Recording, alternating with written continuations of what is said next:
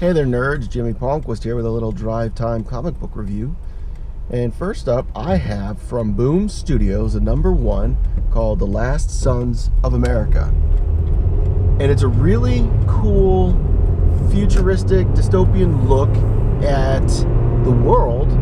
And there was an accident in the United States. And it has caused, uh, or the side effect is that no new babies can be born.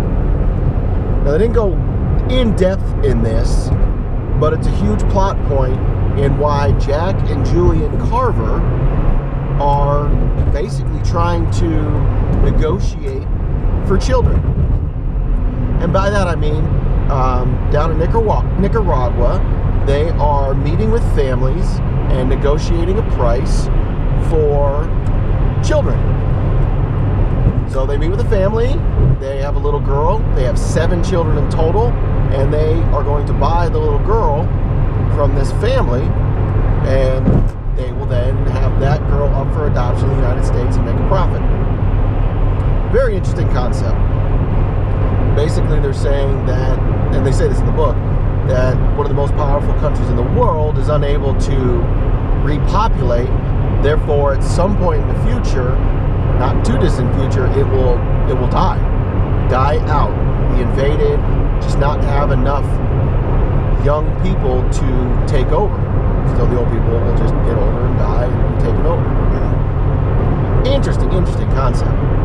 But as far as Julian and Jack Carver, they this is their job, and they are finding it more difficult to procure children obviously it's very difficult for a parent to give up a child no matter how many children they have and they're finding that difficult.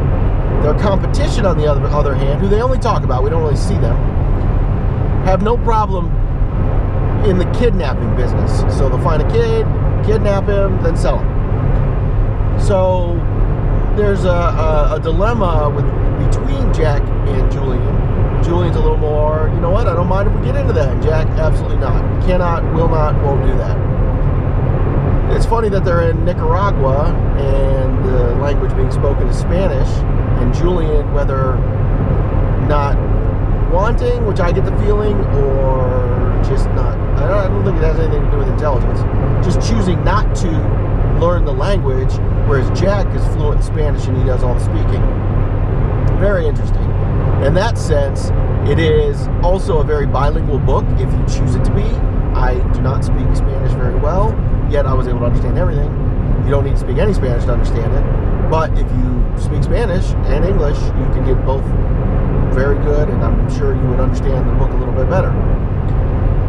So, near the end of the book, Julian takes upon himself, and he doesn't really make the decision, just an opportunity presents itself, very easy opportunity to join the kidnapping side of things. He doesn't tell Jack, and we have a very cool twist at the end of the book that is really what launches me into wanting to read more.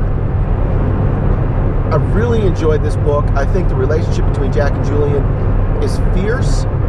They definitely have um, sibling rivalry. Yet at the same time, there's a scene where Jack is, is getting uh, about to get beat up, and Julian steps in and you don't touch my brother. You do that again, I'll kill you so obviously, he loves his brother, and there's a great respect and love between each other. I really enjoyed this book. I thought, uh, to be honest, I thought it was an Image number one. Image does a great job with their number one books and getting you to want to read more. So when I looked back and saw, oh, it's Boom Studios, I was really impressed with that.